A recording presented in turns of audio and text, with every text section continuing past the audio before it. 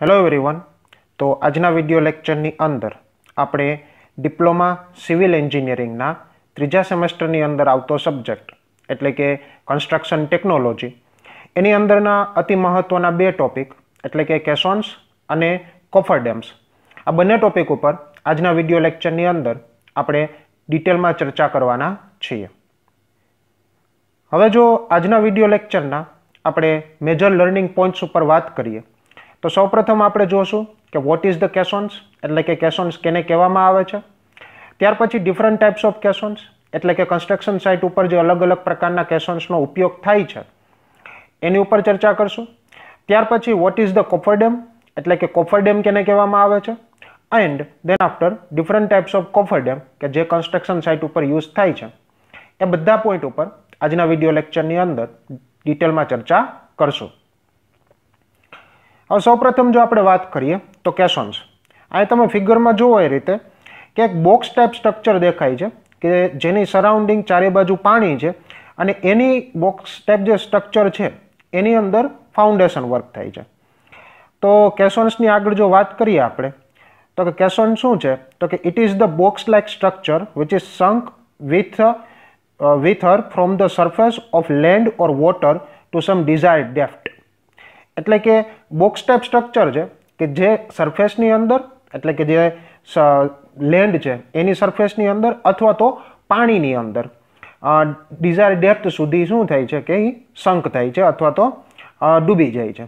Majority કેસીસની અંદર જે caissons છે, એ કેવી જગ્યાએ ઉપયોગમાં લેવાતા હોય છે, કે જ્યાં ચારે બાજુ સરાઉન્ડિંગમાં પાણી છે અને પાણીની વચ્ચે તમારે કન્સ્ટ્રક્શન વર્ક કરવાનું તો પાણીની અંદર જે કન્સ્ટ્રક્શન વર્ક કરવાનું છે, એના ફાઉન્ડેશન તરીકે કેસોન્સ છે, એક પરમેનન્ટ સ્ટ્રક્ચર તરીકે ઉપયોગમાં લેવાતો એક ભાગ છે. It is use to place the foundation under water જેમ આપણે આગળ વાત કરીએ કે પાણીની અંદર ફાઉન્ડેશન મૂકવા માટે કેનો ઉપયોગ કરવામાં આવે છે? કેસોન્સનો ઉપયોગ થાય છે. હવે જો કેસોન્સના ટાઈપની વાત કરીએ, તો એના મુખ્ય ત્રણ પ્રકાર છે. પહેલું આવે છે બોક્સ કેસોન બીજું આવે છે ઓપન કેસોન્સ ઓર વેલ્સ અને ત્રીજું આવે છે ન્યુમેટિક કેસોન્સ તો હવે ત્રણે ત્રણ પોઈન્ટ ઉપર આગળ આપણે જોશું, એટલે કે કેસોન્સના ત્રણે ત્રણ પ્રકાર જોશું. આમાં સૌથી પહેલું આવે છે બોક્સ કેસોન્સ અહીં તમે ફિગરમાં જુઓ એ રીતે કે બોક્સ કેસોન છે, એનો તમને નીચેની સાઈડ પહેલાં પ્લાન વ્યૂ આપેલો છે અને ઉપરની સાઈડ સાઈડ વ્યૂ આપેલો છે. એટલે પ્લાન વ્યૂ તમે ટોપ વ્યૂમાંથી જુઓ અથવા તો પ્લાન વ્યૂમાંથી જુઓ તો એક સ્ક્વેર બોક્સ છે કે જેની અંદર ચાર અલગ ચાર અલગ અલગ પ્રકારના હોલ્સ અથવા તો ચાર હોલ્સ અથવા તો ષટકોણ આપેલા છે. તો કે a box caisson is a strong water tight vessel open at the top and close at the bottom એટલે કે આ વોટર ટાઇટ વેસલ છે. વેસલ એટલે કે એવી વસ્તુ કે જે પાણીમાં તરી શકે અથવા તો પાણીમાં ડૂબી શકે. રેડી તો વોટર ટાઇટ વેસલ છે, જે કેવી છે? કે ઉપરથી ખુલ્લી છે. પણ નીચેથી કેવી હોય છે? બંધ હોય છે. એટલે કે એનું તળિયું પેક હોય છે અને ઉપરનો ભાગ કેવો હોય છે? ખુલ્લો હોય છે.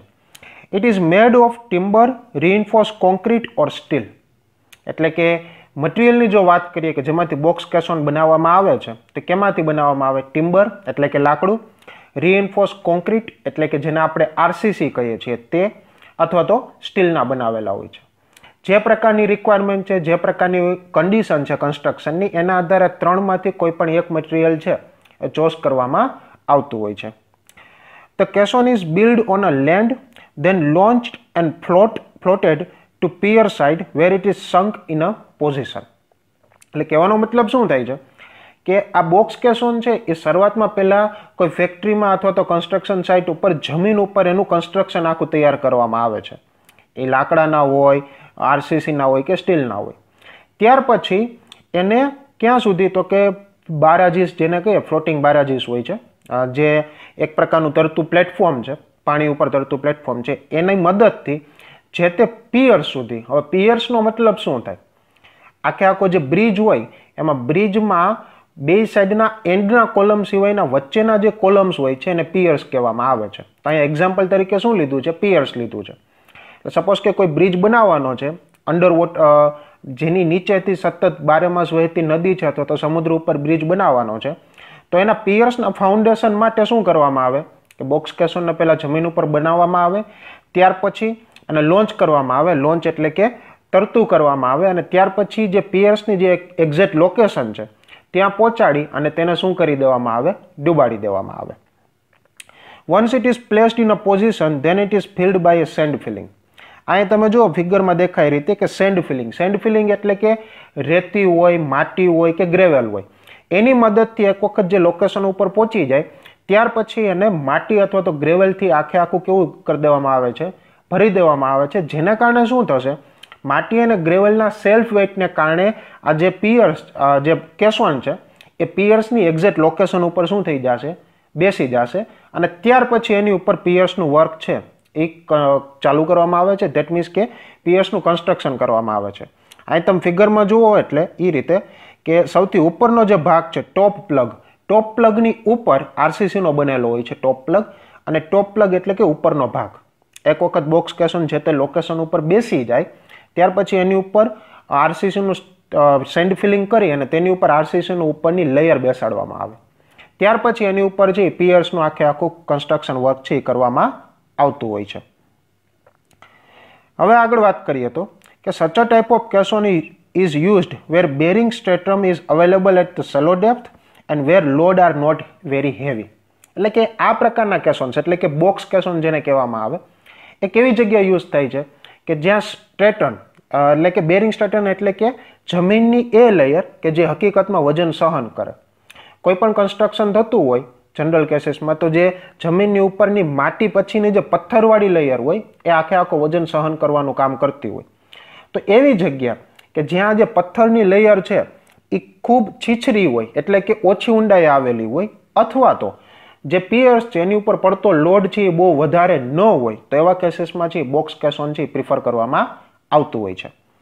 પણ, હવે જો ડિટેલમાં વાત કરીએ તો કે condition favourable for the construction of box box caisson એટલે કે બોક્સ કેશનના કન્સ્ટ્રક્શન માટેની ફેવરેબલ કન્ડિશન્સની વાત કરીએ તો એમાં પહેલું શું આવશે?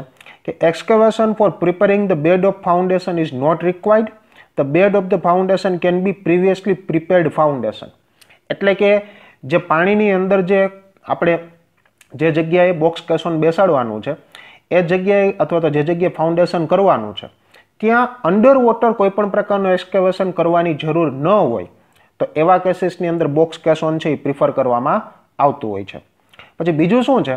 કે the velocity of flow of water is slow as to give a stability to caisson against a scour scour એટલે કે ધોવાણ થવું. હવે એવી જગ્યા કે જ્યાં પાણીનો જે ફ્લો છે, એની જે વેલોસિટી છે એ બહુ ઓછી હોય, જેને કારણે આ જે કેસોન છે એનું ધોવાણ ન થાય તો એવા કેસીસમાં બોક્સ કેસોન છે ઉપયોગમાં લેવાતું હોય છે. ત્યાર પછી the bed material bed material is loose enough and it is possible to dredge out this material and from a levelled bearing surface. એટલે કે બેડ મટીરિયલ છે એ લૂઝ હોય અને જરૂર પડે તો એને તમે બહાર કાઢી શકતા હો ડ્રેગલિંગની મદદથી. એટલે ધેટ મીન્સ કે જે તળિયાનું જે મટીરિયલ છે એને તમે જરૂર પડે તો ખોદકામની થોડી ઘણી જરૂર પડે તમે બહાર કાઢી શકો. તો એવી જગ્યાએ છે બોક્સ કેસોન છે યુઝ થતું હોય છે. અને લાસ્ટ કે the depth of the water is about six to eight metre એટલે કે જ્યાં પાણીની ઊંડાઈ છથી માંડીને આઠ મીટર જેટલી હોય દેટ મીન્સ કે ફાઉન્ડેશનનું જે તળિયું છે, ત્યાંથી પાણીની ઊંડાઈ પાણીની ઊંડાઈ કયો અથવા તો પાણીની ઊંચાઈ કયો? અથવા તો બીજી ભાષામાં કહ્યું તો પાણીની સરફેસથી જે ફાઉન્ડેશન છે, એ છથી આઠ મીટરની ઊંડાઈએ હોય, તો એવા કેસીસમાં છે બોક્સ કેસોન પ્રિફર કરવામાં આવતું હોય છે. બોક્સ કેસોન પછી વાત કરીએ ઓપન કેસોન્સ, કે જેને વેલ પણ કહેવામાં આવે છે, કે the un open caisson is a box of timber reinforce concrete, steel masonry, steel or masonry which is opened at top and the bottom એટલે કે આ જે કેસોન્સ છે, એ બોક્સ કેસોનની જેમ જ ટિમ્બર એટલે કે લાકડું, રિઇન્ફોર્સ, કોન્ક્રીટ એટલે કે આરસીસી, ત્યાર પછી આવે છે સ્ટીલ અને એક વધારાનું મેશનરી, એટલે કે ઈટો અથવા તો પથ્થરનું ચણતર કામ કરીને, લાકડાની આજુબાજુ. એની મદદથી બનાવવામાં આવતું હોય છે. અને ઓપન કેસોનની બીજી ખાસિયત એ છે કે ઉપર અને નીચે બંને સાઈડથી ખુલ્લા હોય છે. ધેટ મીન્સ કે એના બંને છડા કેવા હોય છે? ખુલ્લા હોય છે. It is used for building and bridges foundation એટલે કે બિલ્ડિંગના અને બ્રિજના ખાસ કરીને એવા બ્રિજ કે જે જે પાણીની ઉપર બનાવેલા છે. તો એવા બ્રિજના ફાઉન્ડેશન માટે છે ઓપન કેસોન્સ વપરાતા હોય છે. પછી આગળ વાત કરીએ એમ કે open caissons are also called well foundation એટલે કે જો કોઈ એમ વ્યક્તિ કહે કે વેલ ફાઉન્ડેશન પણ ક્યાં? પાણીની અંદર. તો એને ઓપન કેશોન તરીકે તમે કહી શકો. ત્યાર પછી, તો કે according to requirement they are available in different shape હવે અલગ અલગ પ્રકારની રિક્વાયરમેન્ટ અનુસાર છે ઓપન કેસોનના અલગ અલગ શેપ અવેલેબલ છે. બોક્સ કેસોનની જેમ એવું નહીં કે સ્ક્વેર શેપમાં જ છે. અલગ અલગ શેપ છે. જ્યાં તમે ફિગરમાં જુઓ, તો પહેલાં સર્ક્યુલર શેપ છે. પછી રેક્ટેન્ગ્યુલર છે, ત્યાર પછી ટ્વિન સર્ક્યુલર છે, એટલે કે બે સર્ક્યુલર ભાગને એક જ કેસોની અંદર જોડેલા હોય. ત્યાર પછી ડમ્પ વેલ છે, ત્યાર પછી ડબલ ડી છે, એટલે કે બે ડી એકબીજાની ઓપોઝિટ ડાયરેક્શનમાં ફિક્સ કરેલા હોય. તમે ફિગરમાં જુઓ તે રીતે. ત્યાર પછી ટ્વિન એક્ઝાગોનલ છે, ત્યાર પછી ટ્વિન ઓક્ટાગોનલ છે, એટલે કે અલગ અલગ પ્રકારના શેપ અવેલેબલ હોય. જે પ્રકારની તમારે રિક્વાયરમેન્ટ છે, એના આધારે કોઈ પણ એક શેપ છે પસંદ કરવામાં આવતો હોય છે. હવે હવે આગળ વાત કરીએ તો કે they are used on a sandy or soft bearing stratum liable to scour એટલે કે આ કેવી જગ્યાએ યુઝ થાય? કે જ્યાં જમીનનું લેયર છે, તળ છે એ કેવું છે? સેન્ડી એટલે કે રેતીવાળું છે. અથવા તો સોફ્ટ બેરિંગ છે. એટલે કે એની વજન સહન કરવાની ક્ષમતા કેવી છે? ઓછી છે અને જે પાણીના પ્રવાહ સાથે ધોવાઈ જતું હોય, તો એવા કેસીસમાં છે, આ જે આપણે વેલ સેટર્ન કહીએ, એ યુઝ વેલ ફાઉન્ડેશન છે, એ યુઝ કરવામાં આવતું હોય છે. હવે ડ્વેલ ફાઉન્ડેશન કયો અથવા તો ઓપન કેસોન્સ કયો? હવે સ્કોરનો મતલબ શું થાય? સપોઝ કે કોઈ દરિયાની માટી છે, અથવા તો દરિયાની નજીકનો એરિયા છે સમુદ્ર નજીકનો, જેની માટી છે એકદમ લૂઝ છે. દરિયાના પ્રવાહને કારણે તરત ધોવાઈ જાય છે. ફાઉન્ડેશન ધોવાઈ જવાની બીક છે. તો એવા કેસીસમાં છે ઓપન કેસોન્સ આપણે વાપરી શકીએ. It is also used where no firm bed is available for large depth below the surface હવે ફર બેડ એટલે શું? એવું માટીનું એવું લેયર અથવા તો જમીનનું એવું લેયર કે આખે આખા સ્ટ્રક્ચરનું વજન સહન કરી શકે. હવે એવું છે એ બહુ ઊંડાઈ સુધી અવેલેબલ નથી. સપોઝ કે ઉપરની માટી તો લૂઝ જ છે, પણ એની નીચે જો જોતા જાય એટલે કે પાણી, પાણીના તળિયાનો ભાગ એ તળિયાની માટી કેવી છે? લૂઝ છે. પણ એની નીચે જો ઊંડાઈ સુધી જઈએ, તો ત્યાં પણ બહુ ઊંડાઈ સુધી મજબૂત એવું લેયર નથી મળતું જમીનનું કે જે આખે આખો વજન સહન કરી શકે. તો આવા પ્રકારનું જે કન્સ્ટ્રક્શન સાઇટ હોય, એવા કેસીસમાં ઓપન કેસોન છે એ ઉપયોગમાં લેવાતું હોય છે. હવે આગળ આપણે શેપની વાત કરીએ, અલગ અલગ પ્રકારના શેપ તો કયા કન્સ્ટ્રક્શન માટે કયો શેપ છે વધારે ફેવરેબલ રહેશે એ સિલેક્ટ કરવું હોય તો તેના અમુક ફેક્ટર્સ આપેલા છે કે selection of shape open open caisson depend on the following factors એટલે કે સિલેક્શન કરવું છે તો તેમાં પહેલું આવે છે the dimension of base of the pier or abutment પિયર અને એબુટમેન્ટની આગળ આપણે વાત કરીએ કે બ્રિજ છે. બ્રિજના જે બંને છેડાના કોલમ સિવાયના જે વચ્ચેનો ભાગ છે ને પિયર કહેવામાં આવે. અને છેડા બે જે કોલમ છે કે જે અડધા જમીનની અંદર હોય અને અડધાથી બહાર નીકળતો એને એબુટમેન્ટ કહેવામાં આવે. તો જે પિયર અને એબુટમેન્ટ છે, એનું ડાયમેન્શન કેવા છે? એનો શેપ કેવો છે? એના આધારે ઓપન કેશનનો શેપ નક્કી થતો હોય. ત્યાર પછી ઇઝ ઓફ સિંકિંગ એટલે કે કોઈ પર્ટિક્યુલર કન્ડિશન માટે કયો શેપ છે, કયા શેપનો તમે ઓપન કેશન બનાવશો, તો ઇઝીલી સિંક એટલે કે ડૂબી જશે. ત્યાર પછી cost of sinking and shuttering એટલે કે જે સિંકિંગ માટે જે અલગ અલગ પ્રકારના વોટર વેસલ યુઝ થાય છે મરીન વેસલ્સ યુઝ થવાના છે, તો એનો જે ખર્ચ છે, ત્યાર પછી જે મેન પાવર છે, ત્યાર પછી એને લિફ્ટ કરવા માટે લિફ્ટિંગ મશીન્સ છે.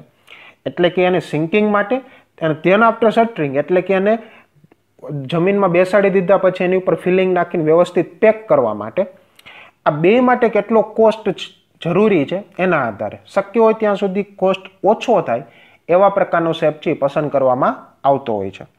ત્યાર પછી vertical and horizontal force acting on the wall હવે જ્યારે કેસોન છે કેસોનની બધી બાજુ જે વોલ છે, એની ઉપર હોરિઝોન્ટલ ફોર્સ એ પડતો હોય ને વર્ટિકલ ફોર્સ પડતો હોય. હોરિઝોન્ટલ ફોર્સ કયો છે કે એની આજુબાજુનું પાણી છે એ જે એની ઉપર ફોર્સ પાડશે તે. અને વર્ટિકલ ફોર્સ કયો છે? જે જેની ઉપર કેશોનની ઉપર જે કોલમ ઊભું કરેલું છે અથવા તો પિયર ઊભું કરેલું છે, એના દ્વારા જે વજન પડે છે તે. તો એના આધારે એ ફોર્સ કેટલો છે? એના આધારે શેપ નક્કી થતો હોય છે. મેજોરિટી કેસીસની અંદર વાત કરીએ તો સર્ક્યુલર શેપ છે એ વર્ટિકલ ફોર્સ સહન કરવા માટેનું બેસ્ટમાં બેસ્ટ છે. ધેટ મીન્સ કે જેનો ક્રોસ સેક્શનલ એરિયા કેવો હોય? સર્ક્યુલર ફોર્મમાં સૌથી વધારે વજન સહન કરી શકતું હોય છે. Then after, the consideration of till એને શિફ્ટ ડ્યુરિંગ ધ sinking. એટલે કે જ્યારે ડૂબાડતા હો, ત્યારે પાણીના પ્રવાહને કારણે એની લોકેશનથી કેટલો ત્રાસું જશે અથવા તો કેટલું શિફ્ટ થશે, એ પણ કન્સિડર કરવું પડે. કોઈ પણ પ્રકારનો શેપ નક્કી કરતી વખતે. હવે, આ ઓપન કેસોન અથવા તો જેને વેલ કહીએ છીએ, એના કમ્પોનેન્ટની વાત કરીએ. તો અહીં તમે ફિગરમાં જોવો એ રીતે અલગ અલગ કમ્પોનેન્ટ છે. પિયર છે વેલ કેપ છે top plug bottom plug cutting edge curb અને સ્ટેનિંગ તો આ બધા કમ્પોનેન્ટ છે એ વારાફરતી વારા આપણે જોશું. એમાં પહેલું આવે છે કટિંગ એજ હવે તમે ફિગરમાં જુઓ એ રીતે કે કટિંગ એજ છે એ ક્યાં હોય છે? સૌથી નીચેના ભાગમાં હોય છે. તો કે it is provide a comparatively sharp edge to cut the soil below during the sinking operation એટલે કે જ્યારે સિંકિંગ ઓપરેશન થતું હોય, ત્યારે જે આ સ્ટીલની બનાવેલી જે બ્લેડ છે અથવા તો એજ છે શાર્પ એજ એ માટીને શું કરશે? કાપવાનું કામ કરશે. શા માટે? કારણ કે ઓપન કેસોન છે લૂઝ સોઇલમાં જ બનાવેલું છે. એટલે કે હેવી ફોર્સ તમારે લગાડવો નહીં પડે, પણ કેસોનના સેલ્ફ વેટને કારણે શું થશે? જમીનમાં જમીન કાપતી જશે. It is usually consist of mild steel equal angle of side of one fifty M M એટલે કે જેની સાઇડની જે પહોળાઈ છે, એ પંદર, એકસો પચાસ એમએમ એટલે કે પંદર સેન્ટીમીટર જેટલી પોળી હોય છે. ત્યાર પછી આવે છે કર્બ. તો કે કર્બના બે પર્પઝ છે. પહેલું શું છે? કે during the sinking it act as a extension of cutting and also provide the support to the well steining and bottom plug હવે આ શું છે? પહેલો પર્પઝ શું છે? કે જે કટિંગ એજ છે, એને વધારાનું એક્સટેન્શન આપી અને એક્સ્ટ્રા સપોર્ટ આપે છે. અને તે ઉપરાંત બીજા કેને સપોર્ટ આપશે? તો કે સ્ટિંગ અને જે બોટમ પ્લગ છે, એને પણ શું કરશે? એ સપોર્ટ આપવાનું કાર્ય કરશે. ક્યારે? જ્યારે સિંકિંગ ઓપરેશન ચાલુ હશે ત્યારે. અને કર્બનું બીજું કાર્ય શું છે?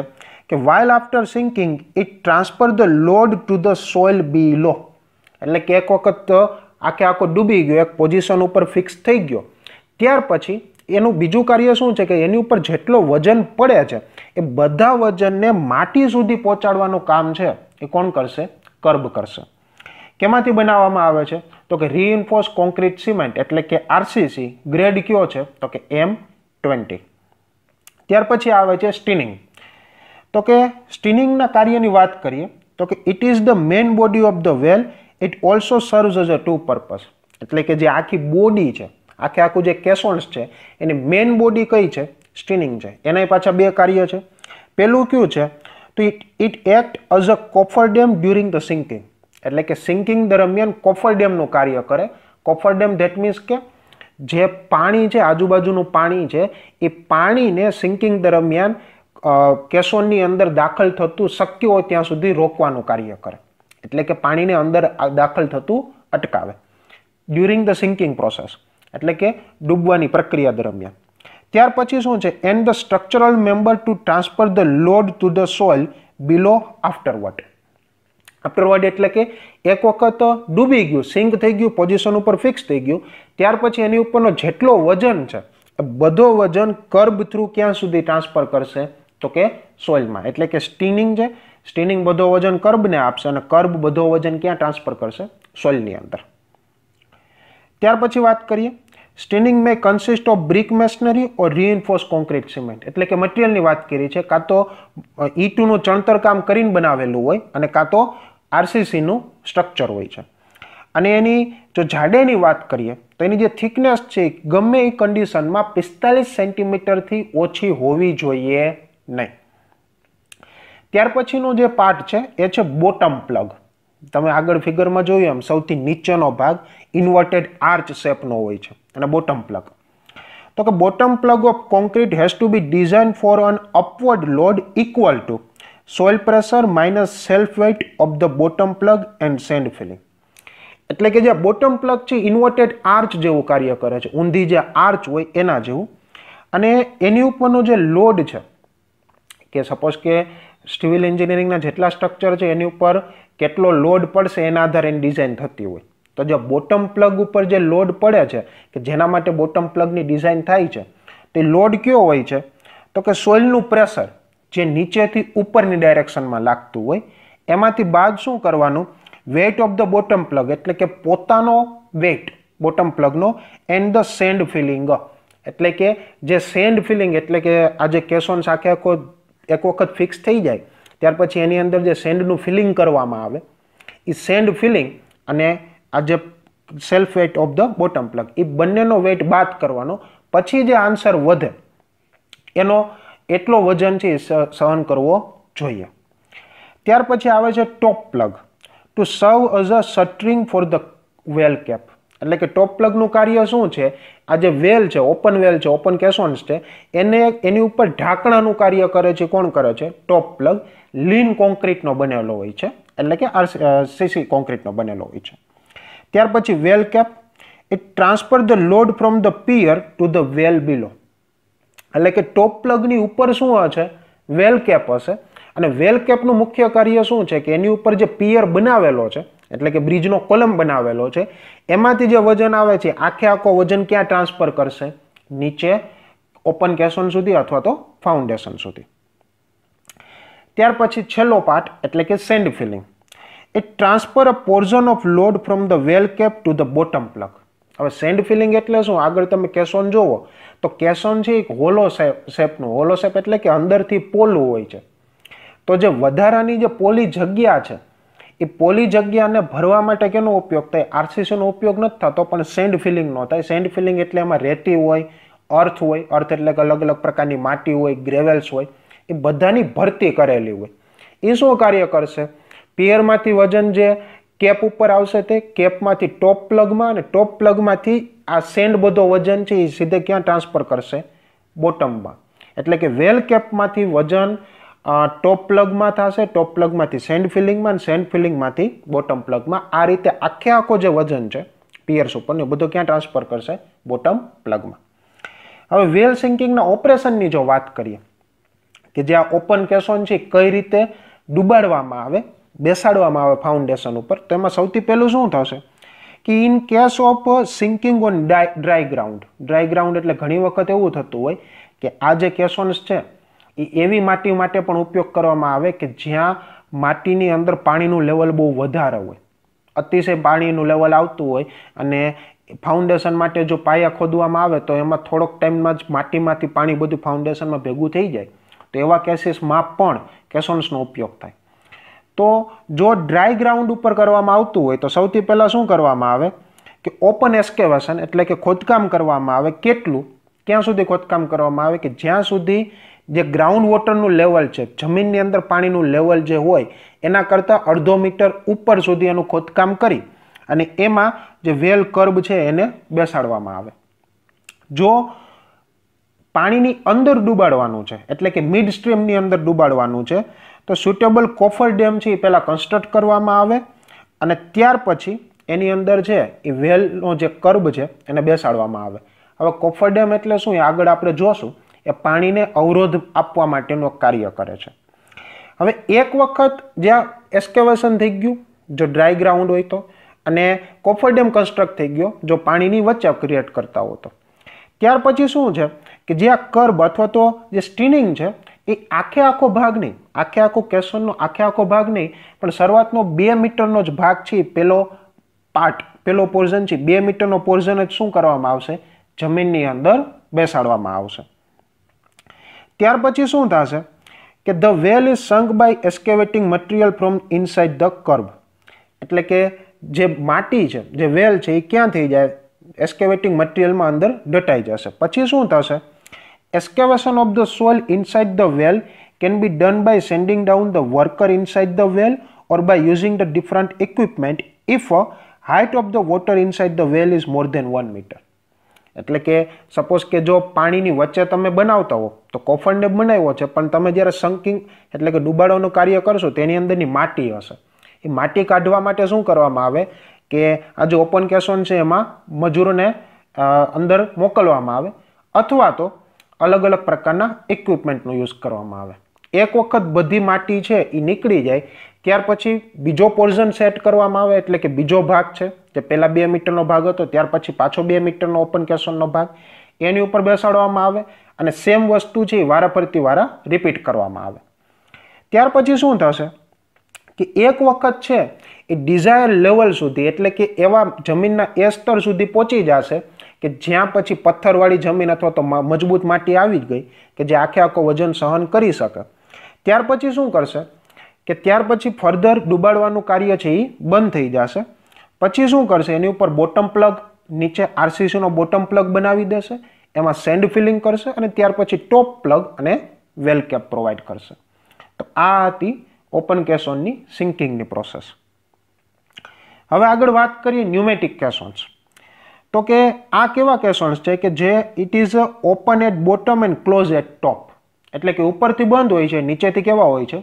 ખુલ્લા હોય છે. This is useful at a location where it is not possible to adopt the wells એટલે કે વેલ અથવા તો ઓપન કેસોન જે જગ્યાએ એડોપ્ટ ન થઈ શકતા હોય, એવી જગ્યાએ ન્યુમેટિક કેસોન્સ છે, એનો ઉપયોગ થતો હોય છે. હવે જો ડેપ્થની વાત કરીએ, પાણીની ડેપ્થની તો કેટલા માટે સુટેબલ છે? જો પાણીની ઊંડાઈ બાર મીટરથી વધારે હોય પણ મેક્સિમમ તેત્રીસ મીટરથી ઓછી હોય. તેવા કેસીસમાં એટલે કે પાણીની ઊંડાઈ બાર મીટરથી માંડીને તેત્રીસ મીટરની વચ્ચે હોય તેવા કેસીસમાં ન્યુમેટિક કેસોન્સ છે એ ઉપયોગમાં લેવાતા હોય છે. હવે આ જે ન્યુમેટિક કેસોન્સ છે, આપણને ખબર છે કે ઉપરથી બંધ છે, નીચેથી ખુલ્લા છે. એટલે જ્યારે એને ડૂબાડવામાં આવે, તો એની અંદરનું જે પાણી છે, એ પાણી બહાર કાઢવા માટે અહીં તમે ફિગરમાં જુઓ એ રીતે કે કમ્પ્રેસ્ડ એરનો ઉપયોગ કરવામાં આવતો હોય છે. એક વખત કમ્પ્રેસ્ડ એરને કારણે પાણી બહાર નીકળી જાય, ત્યાર પછી જે વર્કિંગ ચેમ્બર છે, એ વર્કિંગ ચેમ્બરમાં અહીંયા તમે જે મેન હોલ જુઓ છો મેન હોલની મદદથી એરલોક થ્રુ મજૂરોને છે કે લેબર્સને વર્કિંગ ચેમ્બરમાં મોકલવામાં આવે અને ત્યાર પછી એમાં ખોદકામ કાર્ય કરવામાં આવતું હોય છે.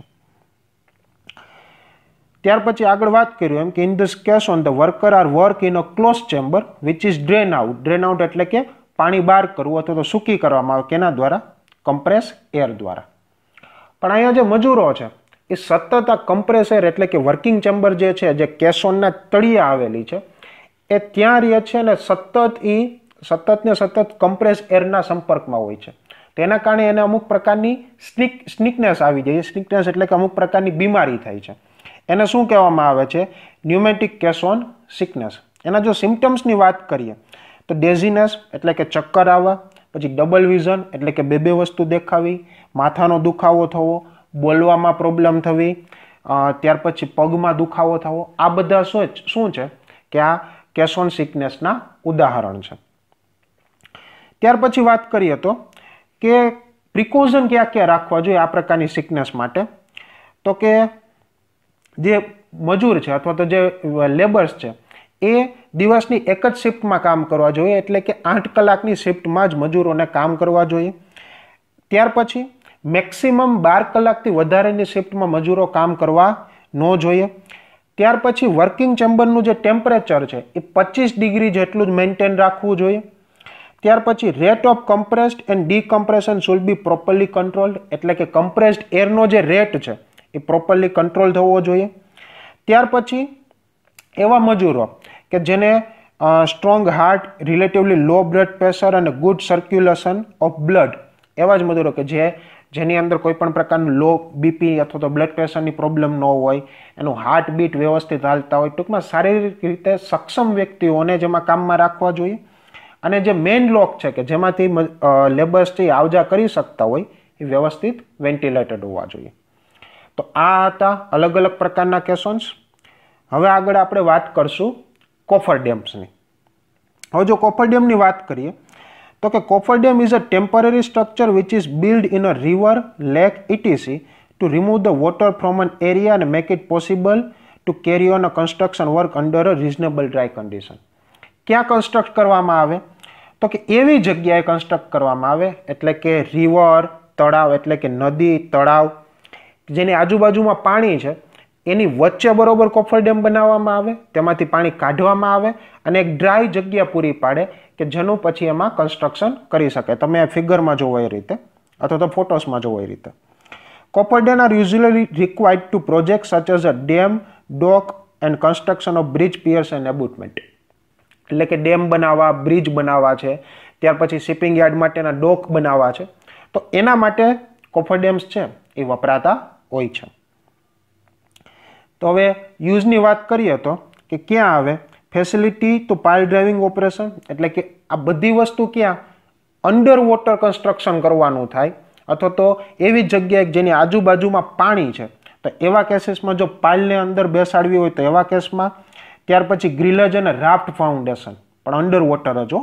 તો એના કેસીસમાં ત્યાર પછી કન્સ્ટ્રક્શન ઓફ ફાઉન્ડેશન ઓફ પિયર એબુટમેન્ટ ડેમ આગળ આપણે વાત કરી તેમ, એટલે કે બ્રિજ ડેમ કન્સ્ટ ડોક બનાવવા એના કેસીસમાં ત્યાર પછી removal of sunken sunken vessels એટલે કે કોઈ શિપ છે ડૂબી ગયું છે.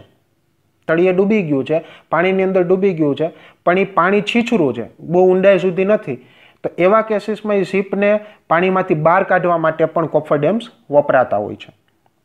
કયા પ્રકારના કોફર વાપરવા? એનું સિલેક્શન કરવાના અમુક ક્રાઇટેરિયન જો વાત કરીએ તો એમાં પહેલું કયું આવશે? કે એરિયા. જે એરિયા કોફર પ્રોટેક્ટ કરવાનો છે, એ એરિયા કેવડો છે? નાનો છે કે મોટો? ત્યાર પછી એ એરિયામાં ડેપ્થ ઓફ વોટર એટલે કે પાણીની ઊંડાઈ કેટલી છે તે? ત્યાર પછી ત્યાં ફ્લડ એટલે કે પૂર આવવાની એટલે કે ટાઈડ અને બીજું ટાઈડ એટલે કે ભરતી વોટ કેટલું આવે છે તે? ત્યાર પછી nature of bed on which coffer dam is rest એટલે કે જે જગ્યાએ બેડ એટલે કે તળિયાની માટીનું લેવલ કેટલું છે, માટી કેવી છે, એના આધારે નક્કી થાય છે. ત્યાર પછી વેલોસિટી ઓફ ફ્લોઈંગ વોટર એટલે કે પાણીની જે વહેતું પાણી છે એની ઝડપ કેટલી છે તે, અને જે અવેલેબિલિટી એટલે કે આજુબાજુમાં કયા પ્રકારનું કન્સ્ટ્રક્શન મટીરિયલ અવેલેબલ છે અવેલેબિલિટી ઓફ કન્સ્ટ્રક્શન મટીરિયલ એના આધારે નક્કી થતું હોય છે. અહીં અલગ અલગ પ્રકારના છ કોફર ડેમ્સ છે. Earth filling type rock filling type rock filling crib type single wall double wall and cellular coffer dam તો આ છ છ કોફર ડેમને હવે આપણે ડિટેલમાં સમજીએ. પહેલું કયું છે? અર્થ ફિલિંગ કોફર ડેમ તો કે અર્થ ફિલિંગ કોપર ડેમ છે, એ અર્થથી જ બનેલા હોય. અર્થ એટલે કે માટી, રેતી એવી વસ્તુઓથી બનેલા હોય છે. ત્યાર પછી ક્યારે ઉપયોગમાં લેવામાં આવે? કે જ્યારે પાણીની ઊંડાઈ છે એ એક પોઈન્ટ ત્રણ મીટરથી માંડીને એક પોઈન્ટ આઠ મીટરની વચ્ચે હોય તો જ. અને વેલોસિટી પણ કેવી હોય? બહુ ઓછી. અને અર્થ ફિલિંગ કોફર ડેમ છે એ simplest form of coffer dam છે.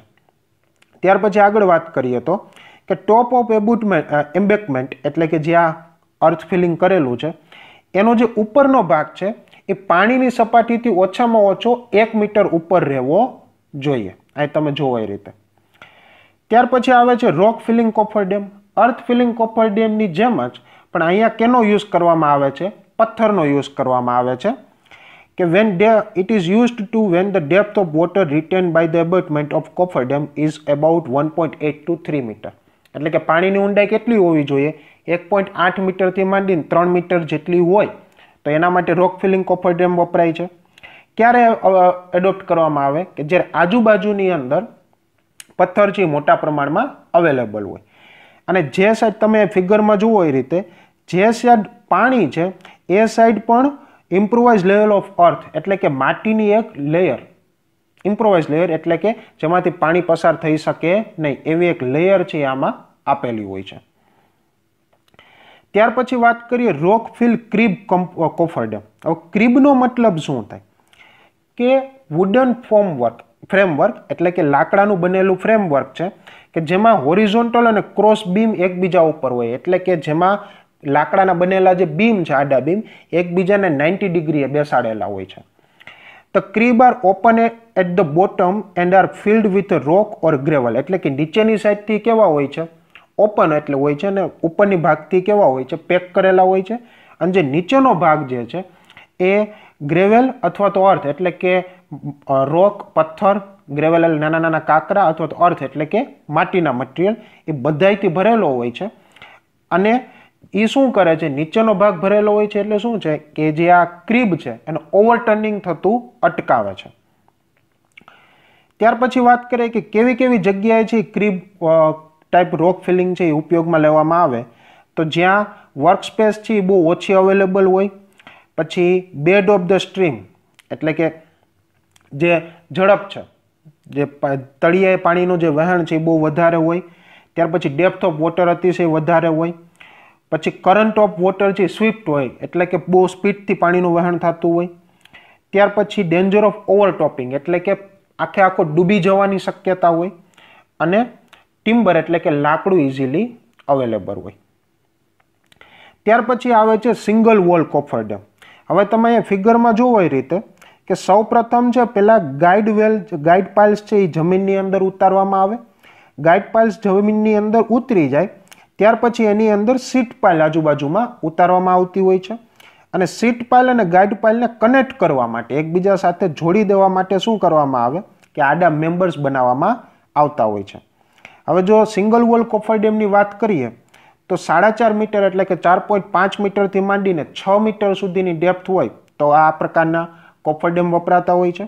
અને આ જે બે પાઇલ છે, એટલે કે જે આપણે ગાઈડ પાઇલ કીધું, એની વચ્ચેને જો સ્પેસિંગની વાત કરીએ, તો એક પોઈન્ટ આઠ મીટરથી માંડીને ચાર મીટર જેટલું સ્પેસિંગ હોય છે. હવે શું કરવામાં આવે કે જે ગાઈડ પાઇલ લગાડેલી હોય, એની નાઇન્ટી ડિગ્રી એટલે કે હોરિઝોન્ટલ ડાયરેક્શનમાં રનર જેને વોલ વેલ્સ એટલે કે લાકડાના પટ્ટા હોય એની સાથે બોલ્ટેડ કરવામાં આવે એટલે કે ગાઈડ પાઇલને હોરિઝોન્ટલ જે બીમ છે, લાકડાના પટ્ટા છે, એના દ્વારા સપોર્ટ આપવામાં આવે. ત્યાર પછી સીટ પાઇલ જમીનની અંદર બેસાડવામાં આવે અને એક વખત સીટ પાઇલ બેસાડી દીધા પછી સીટ પાઇલની બંને બાજુ રેતીની થેલીઓ ભરી અને એક્સ્ટ્રા સપોર્ટ આપવામાં આવે. એટલે કે પહેલાં ગાઈડ પાઇલ બેસાડવામાં આવે, ગાઈડ પાઇલ બેસી જાય, એને એકબીજા સાથે જોડી દેવામાં આવે, ત્યાર પછી એની અંદરની સાઈડ સીટ પાઇલ બેસાડવામાં આવે સીટ પાઇલની બંને બાજુએ રેતીનો સપોર્ટ આપવામાં આવે, એટલે કે રેતીની થેલીઓની એક દિવાલ બનાવવામાં આવે અને ત્યાર પછી જે વચ્ચે પાણીનો ભાગ છે એને ડી વોટરિંગ કરી અને બાકીનો ભાગ છે એ ડીવોટરિંગ એટલે કે એમાંથી પાણી બહાર કાઢી અને એનું કન્સ્ટ્રક્શન વર્ક કરવામાં આવતું હોય છે. હવે ડબલ વોલ કોફર ડેમ છે એ સિંગલ વોલ કોફર ડેમ જેવો જ હોય છે, પણ આમાં ફરક ખાલી એટલો છે કે જ્યાં એક જ ગાઈડ ગાઈડ પાઇલ અને એક જ સીટ પાઇલ હતી. એની જગ્યાએ અહીંયા બે સીટ પાઇલનું લગાડવામાં આવે ને એ બે વચ્ચેનું અંતર વધારે રાખવામાં આવે. આ પ્રકારના જે કોફર ડેમ છે ક્યારે ઉપયોગમાં લેવામાં આવે? કે જ્યારે ડેપ્થ ઓફ ધ વોટર એટલે કે પાણીની ઊંડાઈ કેટલી હોય? બાર મીટર જેટલી હોય. ત્યારે છે એ આ પ્રકારના ડબલ વોલ કોફર ડેમ છે ઉપયોગમાં લેવાતા હોય છે. બાકી આખે આખું જે કન્સ્ટ્રક્શન છે એ સિંગલ વોલ કોફર ડેમ જેવું જ હોય છે. ત્યાર પછી વાત કરીએ cellular coffer dam cellular coffer dam ક્યારે ઉપયોગમાં લેવામાં આવે? કે જ્યારે કોફર ડેમને કારણે મોટો એરિયા કવર કરવાનો હોય અને પાણીની ઊંડાઈ છે એ અઢારથી માંડીને એકવીસ મીટરની વચ્ચે હોય તો. હવે આમાં બે પ્રકાર આવે. એમાં પહેલો છે ડાયાફ્રામ ટાપ અહીંયા તમે ફિગરમાં જુઓ એ રીતે કે ઊભી ક્રોસ વોલ છે અને એને સર્ક્યુલર આર્ક વડે જોડેલી હોય છે. ઊભી ક્રોસ વોલને કેના વડે જોડેલી હોય? સર્ક્યુલર આર્ક વડે.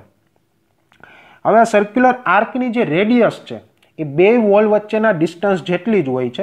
અને ત્યાર પછી આ જે સર્ક્યુલર આર્ક હોય, એની વચ્ચેનો ભાગ છે અને માટીથી અથવા તો રેતીથી ભરેલો હોય છે. ત્યારે સર્ક્યુલર ટાઈપની અંદર શું હોય છે? બંને સેલ હોય છે, એટલે કે સ્ટીલ પાઇલ હોય છે. અને સ્ટીલ પાઇલને નાની નાની આર્ક વડે શું કરેલી હોય છે? જોડેલી હોય છે. રાઈટ અને આ પ્રકારના સેલ્યુલર ટાઈપ કોફર ડેમ છે ક્યાં ઉપયોગમાં આવે? કે જ્યારે કોફર ડેમને કારણે જે એરિયા છે, એ બહુ મોટો કવર કરવાનો હોય ત્યારે. તો વિદ્યાર્થી મિત્રો, આજના વીડિયો લેક્ચરની અંદર આપણે અલગ અલગ પ્રકારના કોફર ડેમ્સ અને અલગ અલગ પ્રકારના કેસોન્સ એના એડવાન્ટેજીસ અને કઈ જગ્યાએ યુઝ થઈ શકે, આ બધી બાબતો ઉપર આજના વીડિયો લેક્ચરની અંદર આપણે ચર્ચા કરી. Thank you students